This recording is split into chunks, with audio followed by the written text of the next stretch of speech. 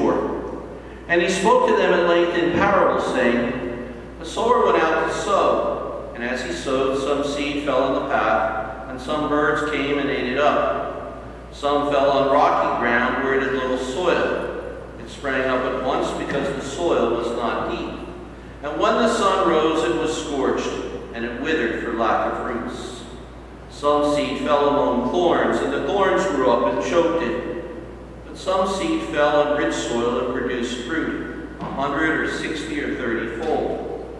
Whoever has ears ought to hear. The disciples approached him and said, Why do you speak to them in parables? He said to them in reply, Because knowledge of the mysteries of the kingdom of heaven have been granted to you, but to them it has not been granted. To anyone who has, more will be given, and he will grow rich. From anyone who has not, even what he has will be taken away. This is why I speak to them in parables, because they look but they do not see, and hear but they do not listen or understand. Isaiah's prophecy is fulfilled in them, which says, You shall indeed hear but not understand, you shall indeed look but never see. Gross is the heart of this people that will hardly hear with their ears they have closed their eyes, lest they see with their eyes and hear with their ears, and understand with their hearts and be converted, and I will heal them. But blessed are your eyes because they see, and your ears because they hear. Amen, I say to you, many prophets and righteous people long to see what you see, but did not see it, and to hear what you hear, but did not hear it. Hear then the parable of the sower.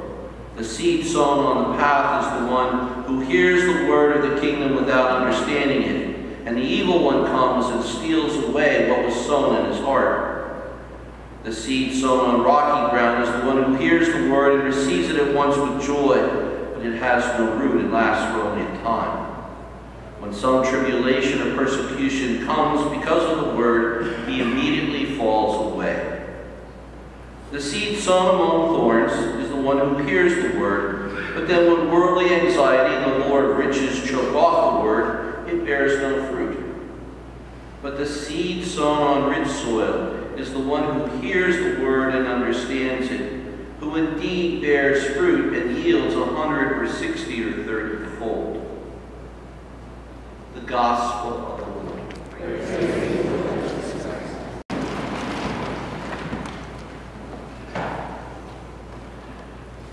I think many of us, especially those of us that have to travel, especially to places we're not really certain how to get there, say that the, the GPS is invaluable. Uh, you just plug in the address and it'll take you right to the door. Well, sometimes. There's always some detour that the GPS doesn't understand. There's always some update that you missed. And then there's always the fact that the GPS will be cantankerous. Did you ever drive and GPS says to you, turn left in 30 feet, turn left in 30 feet? Well, I turn left and recalculating, recalculating, make a U-turn, do this, go here, go there. Well, the left-hand turn I made in 20 feet instead of 30 feet. It was something that I was totally unaware of. Something that I messed up. But then, of course, are you as weird as I and you love to play with the GPS as mine? You plug in the GPS, but you know a shortcut, and the GPS starts spazzing out because you're going all these routes that the GPS doesn't want you to go on, and yet you know you're going to get there. It kind of fits in with the gospel today. How do we get to God? What path do we take to get to God? Some of us will take detours. Some of us will end up in the middle of traffic jams. Some of us will just become totally lost. Some of us will try and do what's right and end up getting frustrated. But if we trust in the Lord, the Lord will get us where we need to be. We need to trust in God's hands. We hear in the gospel today, blessed are the ears that hear, blessed are the eyes that see. That go beyond the GPS machines that tell us to go here and there. But to trust in our heart the way that we need to go. We hear that in the sowing of the seed, there are many distractions, things that choke us off, things that will make us wither, things that will trample us underfoot, all kinds of things that will miss us. But in the end, God will always get us back on the path that we need to be. We ask the Lord then, and wherever our travels take us, but most especially our physical journeys, when we allow frustration and sin and anxiety to get in our way, we always will hear Jesus speaking to us. We'll always see Jesus showing us the way. And truly, we will get there. And when we do, we will bear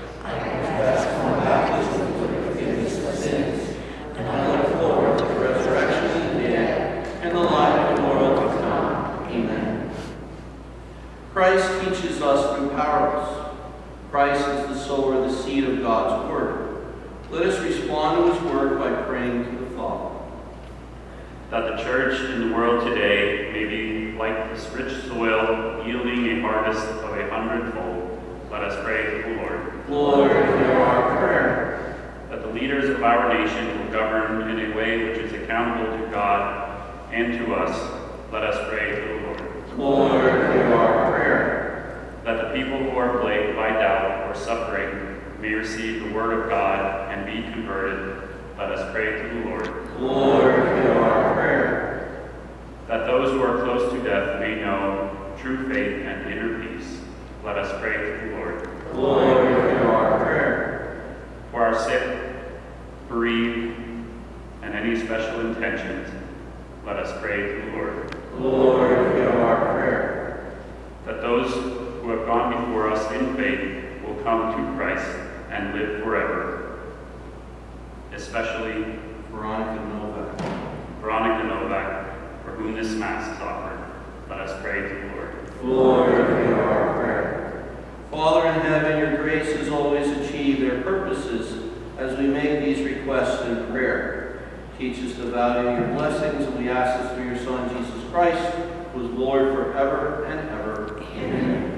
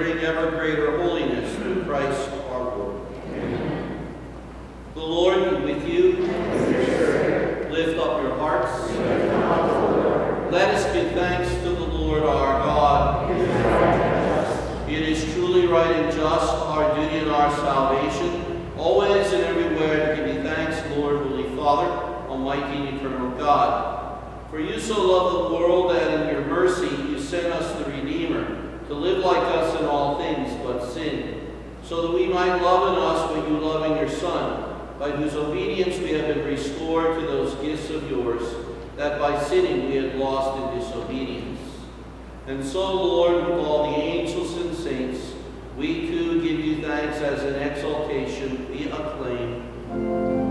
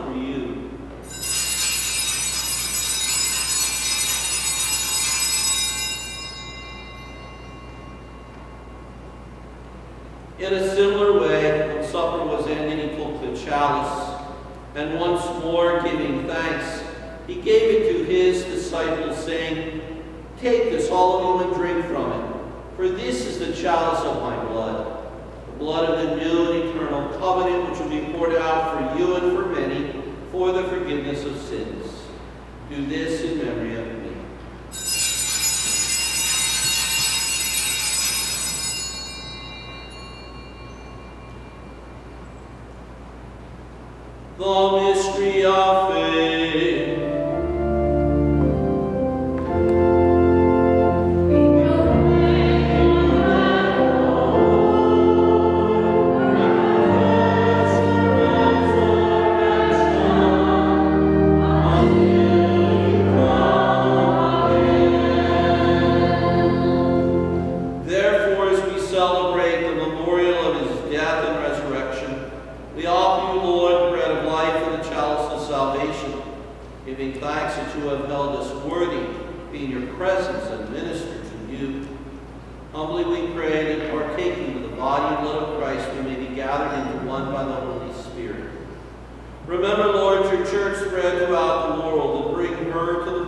charity, together with Francis, our Pope, and Alfred, our Bishop, and all the people of God. Remember our brothers and sisters who have fallen asleep in the hope of the resurrection, and all who have died in your mercy. Welcome them into the light of your face. Have mercy on us all, we pray, that with the Blessed Virgin Mary, Mother of God, bless Joseph, her chaste spouse, with the blessed apostles, with St. Clare of Assisi, and with all the saints who have pleased you throughout the ages. We may merit to be co-heirs of eternal life, and may praise and glorify you through your Son, Jesus Christ. Through him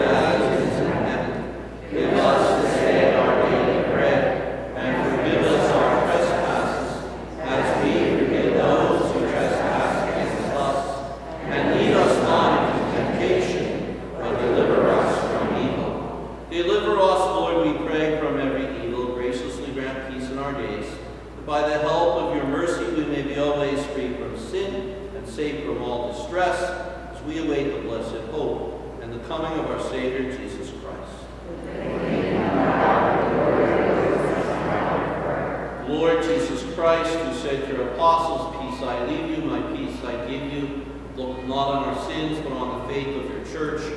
Graciously grant her peace and unity in accordance with your will, who live and reign forever and ever. Amen. The peace of the Lord be with you always.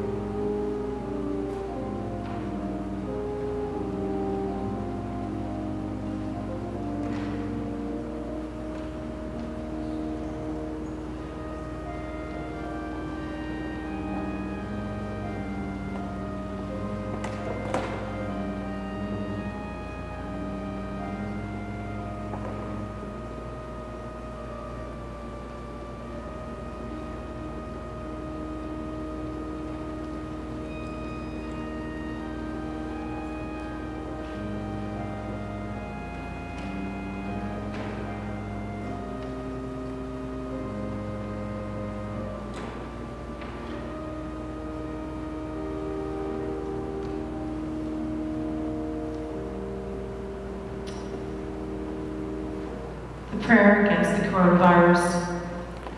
Lord Jesus Christ, our divine physician, we ask you to guard and protect us from coronavirus, COVID-19, and all serious illness.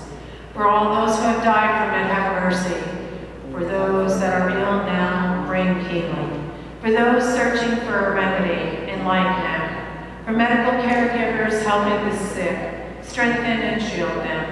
For those working to contain the spread, grant them success. For those afraid, grant peace. May your precious blood be our defense and salvation. By your grace, may you turn the evil of disease into moments of consolation and hope.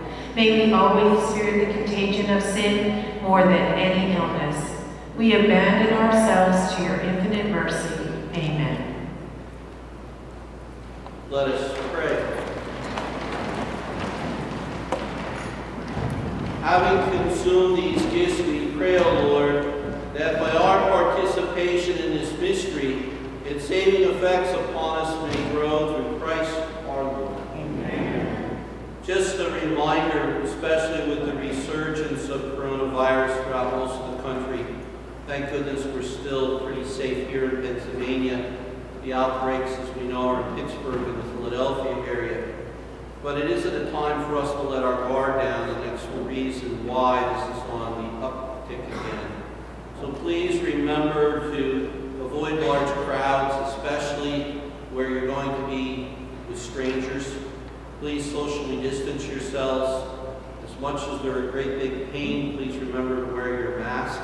It's now been determined that COVID is just as much a respiratory problem and an airborne problem. So your mask protects you from me and my mask protects me from you. So uh, please remember to do that. And also the notion of frequent hand washing. So let's try and keep each other safe and you know, I don't think any of us want to be away from church the way that we were in the past. I'm glad to see that more and more of our parishioners are, are starting to come out. On Saturday night at 4 o'clock, we're still going to continue with the Mass in the cemetery, unless it rains. But this way, we uh, can do it outside, so those people that have this phobia for masks, they don't have to wear them. And uh, it's just it's just a very nice atmosphere, so you're looking for that. Also, as you heard Mary Lou with the announcements, this Wednesday is the anniversary of the founding of our parish. We'll have a mass here on Wednesday night at 6:30, and we'll also have uh, an ice cream social, socially distant, if you want to hang around, or you can take your ice cream and go. So, hope to see you there. The Lord be with you. May Almighty God bless you, Father, Son, and Holy Spirit. Go in glorifying the Lord by your